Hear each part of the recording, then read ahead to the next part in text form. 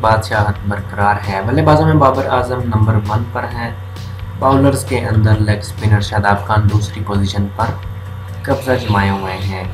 بات کر رہے ہیں ٹی ٹوینٹی رینکنگ کی، جو کہ حال ہی میں آئی سی سی نے جاری کی ہے۔ دوستو، شروع کرنے سے پہلے اگر آپ نے چینل سبسکرائب نہیں کیا تو ہر اسپورٹس کو سبسکرائب کرتے ہیں اور بیل آئکن میں پریس کر دیں تاکہ ہر ویڈیو تک پہنچ سکے۔ آئی سی سی نے ٹی ٹوینٹی کی نئی عالمی رینکنگ جاری کر دی ہے، جس میں پاکستان کے نمبر ون ٹیم ہونے کا برقرار ہے۔ جبکہ بھارت دوسرے انگلینڈ تیسرے پوزیشن پر براجمان ہے۔ بیٹسمینوں کی فہرست کی بات کی جائے تو پاکستان کے دو بلے باز ٹاپ ٹین میں شامل ہیں۔ بابر اعظم نمبر ون پر اور فخر زمان نویں نمبر پر موجود ہیں۔ بولرز کے اندر افغانستان کے راشد خان پہلے نمبر پر ہیں۔ قومی ٹیم کے لیگ سپینر شاداب خان دوسری پوزیشن پر قبضہ جمائے ہوئے ہیں۔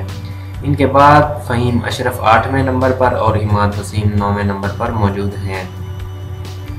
ٹی ٹوینٹی کے اندر آل راؤنڈر کی بات کی جائے تو آسٹریلیا سے رکھنے والے تعلق رکھنے والے گلین میکسول نمبر ون پر ہیں، بنگلہ دیش کے شکیب الحسن دوسرے نمبر پر، افغانستان کے محمد نبی تیسرے، اور پاکستان کرکٹ ٹیم کے آل راؤنڈر محمد حفیظ دسویں نمبر پر موجود ہیں۔ تو یہ دوستوں حال ہی میں جاری کی گئی آئی سی سی کی ٹی ٹوینٹی رینکنگ جس میں Pakistan as a team number one موجود ہے۔ کیا کہتے ہیں پاکستان ٹیم کی نمبر ون رینکنگ کے بارے میں؟ ضرور بتائیے گا۔ ویڈیو کو لائک اور شیئر کریں۔